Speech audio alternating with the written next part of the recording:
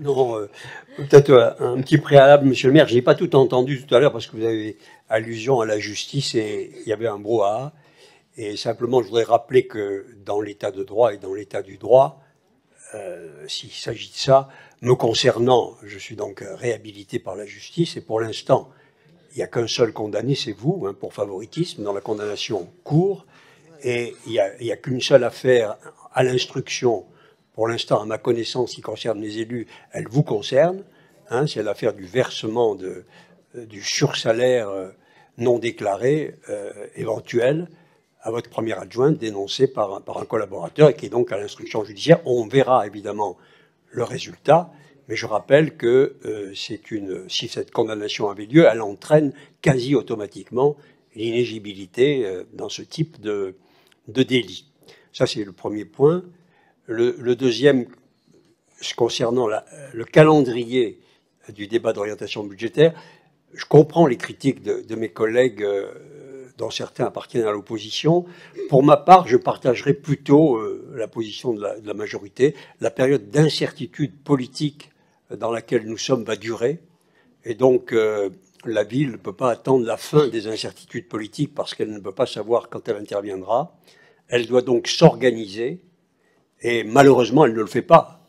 Parce que, puisque les difficultés arrivent et vont arriver, vous ne les avez pas anticipées, aucunement on arrive euh, dans une situation où on est exsangue et on a des difficultés supplémentaires parce que vous qui prévoyez 2040, 2080, 3000, vous n'avez pas prévu 2024, 2025, 2026.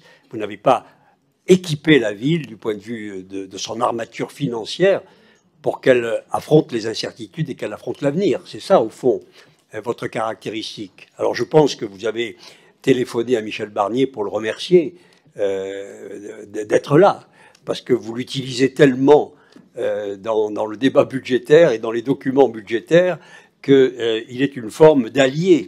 Moi, je ne reprends pas, j'avais noté votre éditorial comme Émilie Chalas l'a bien développé, je ne vais, pas le faire. J'ajoute simplement quelques phrases que vous avez repris concernant Michel Barnier. Vous lui reprochez un vocabulaire trompeur, vous lui reprochez un déni des réalités et vous lui reprochez une méthode qui impose des mesures sans concertation.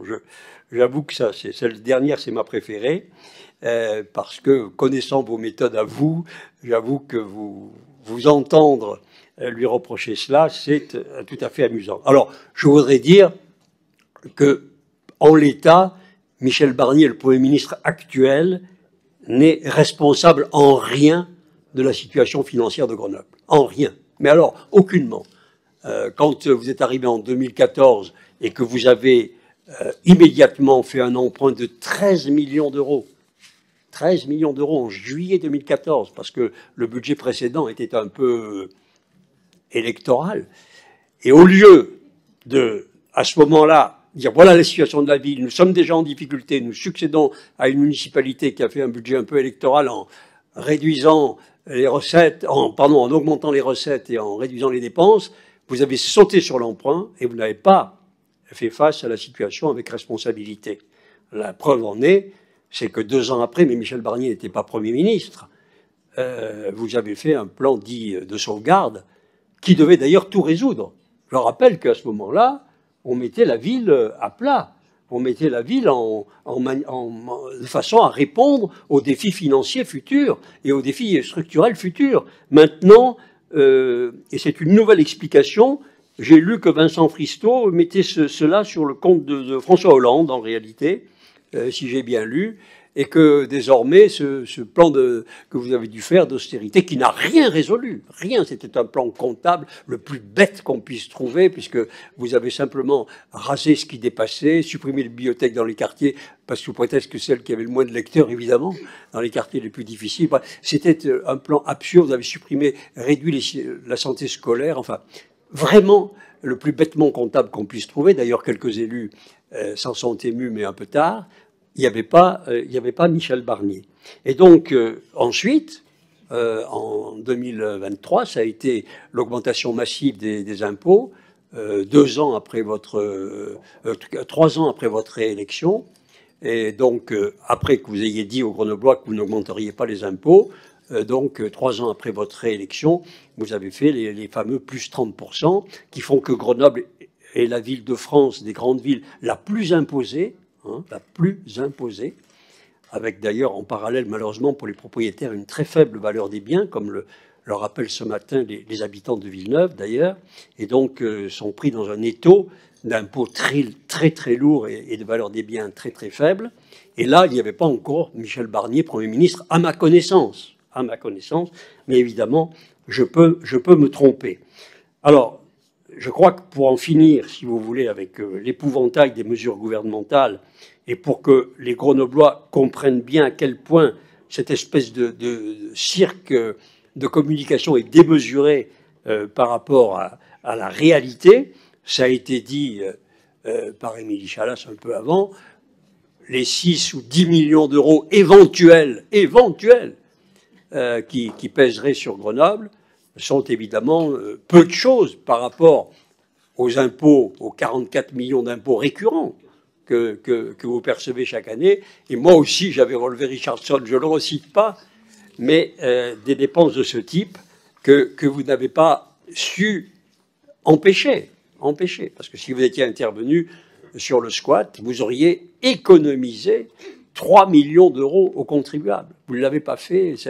Cette impéritie coûte très très cher aux, contribuables grenoblois. Et vous économiseriez également des, millions euh, euh, sur certaines euh, fausses gratuités. On va voir combien ça coûte par rapport au nombre de bénéficiaires.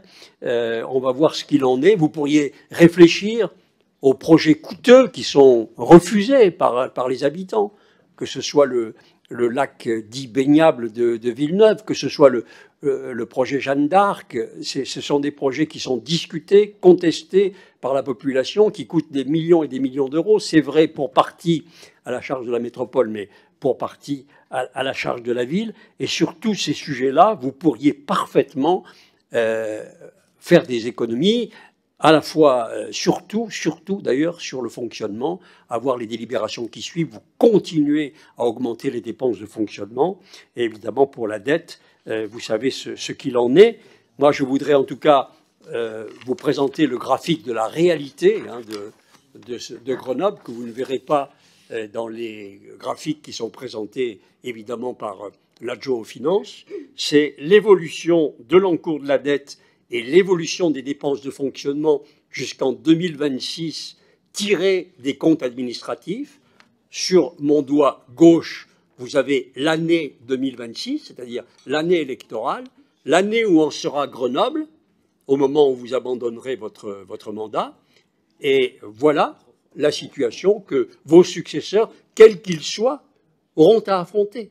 C'est-à-dire un encours de dette et des dépenses de fonctionnement qui continuent à galoper d'une façon inconsidérée, et ça n'a évidemment aucun rapport avec ce que le gouvernement Barnier pourrait euh, décider euh, dans l'avenir. Je crois qu'il faut comprendre vraiment cette situation de Grenoble. Ces orientations que vous présentez sont dans la continuité totale de ce que vous faites depuis dix ans. Et ce que je ne comprends pas, j'avoue, pour moi c'est très difficile à pénétrer mon entendement, c'est quand on a une politique financière qui a posé les problèmes que vous avez eu en 2016, que vous avez eu en 2023, avec le plan de sauvegarde qui n'a servi à rien, les impôts qui ont servi à rien, et que vous mangez, et que et vous continuez. J'avoue que là, il y a, effectivement, il y a un problème. Pour moi, il y a un problème de compréhension euh, parce que votre trajectoire financière produit et produira de plus en plus ces effets négatifs, cette asphyxie de la ville, du fait de son endettement et, de son fonctionnement. Donc, euh, vous ne direz pas les leçons, et ce sont les, les, Grenoblois sont les victimes de ça. Parce qu'évidemment, au fur et à mesure que la dette et les dépenses de fonctionnement s'accroissent, vous pouvez de moins en moins rendre les services au quotidien qu'attendent les Grenoblois en matière de propreté, de sécurité, d'entretien, d'espace public.